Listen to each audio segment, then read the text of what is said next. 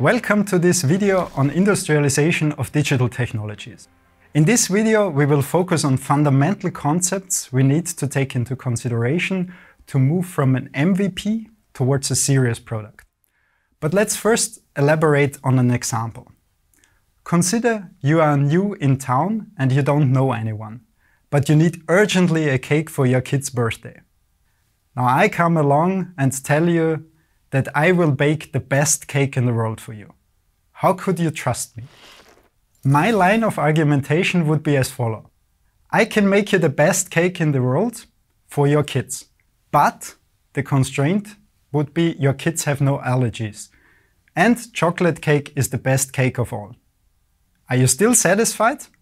Brilliant, let's move on. I can assure you this claim by showing you my development environment. The most modern kitchen in the European Union with high quality IoT enabled kitchenware. Okay, good environment does not make a good cake. I also work with the best product ingredients, certified organic products freshly delivered. But you might say, does he really know how to make a cake from these ingredients? I have Oma's secret recipe that some Viennese bloke copied from her and is now selling in his hotel. Sounds like a decent approach, or? But how would you know that I know anything about baking? That brings me to the personal insights towards me. I'm an automotive guy and Michelin gave me five stars for that. How does that link to our topic and some industrialization of a product? First, the development environment relates to industry norms. Second, the ingredients list to the bill of materials or BOM. Third, my OMA's recipe to the development process descriptions. And fourth, the Michelin stars to adequately trained and skilled people. Based on these pillars of trust in the capabilities of the product, the process and the design, the sweet spot of a proper product that satisfies customer needs and cope with the guarantees and regulations while being efficiently developed can be achieved. Following these lines of argumentation and structuring helps to mitigate recurring problems occurring in multiple industries, like, for example, poor requirements management, leading to incomplete or imprecise requirements, poor project management, resulting in cost or deadline overruns, testing that lacks in systematic approaches, quality assurance that is seen as roadblocker rather than a key enabler, and lacking of configuration or version management.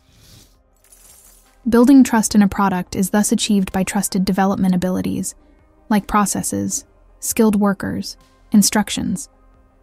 Of course, trusted production facilities, and trust in the product features itself. Such a building up of trust can be seen equivalent to customer satisfaction. But what does the term trust stand for? How is it meant or measured? This depends on the domain context and the application. As an umbrella term, we talk about dependable system engineering. And what exactly are these dependability attributes now? Here are seven dependability attributes and some very prominent examples for each of them. Availability is the readiness for correct service. The example is the emergency room. Reliability, the continuity of correct service without interrupt. Best example, a satellite or orbiter. Safety, focusing on the absence of catastrophic consequences to the users and the environment. The best, or here the worst example, a safety test gone wrong in 1986. Confidentiality, the prevention of unauthorized disclosure of information. Most well-known example, the asterisks when we enter passwords.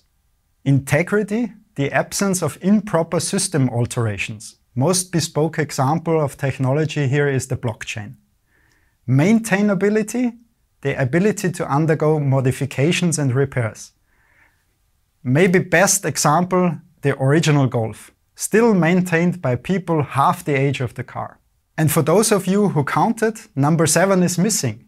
The seventh ability would be security, which is a composition of CIA, confidentiality, integrity, and availability. Depending now on the nature of the product itself, the operational domain, and the customer expectations, these dependability attributes need to be considered and balanced accordingly. But more to this later in this course. Similar to the dependability attributes, sometimes customer needs need to be balanced out and attuned.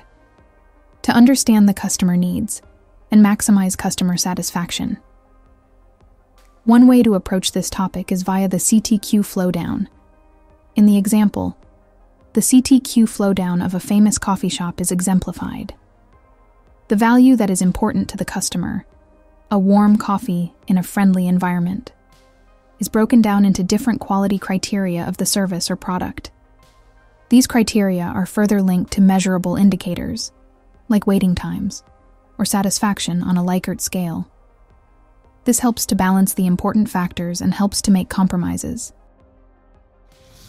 For our MOOC endeavor, we ask you to reflect on how to move from an MVP idea to a serious product. What are important factors for your domain and your product context?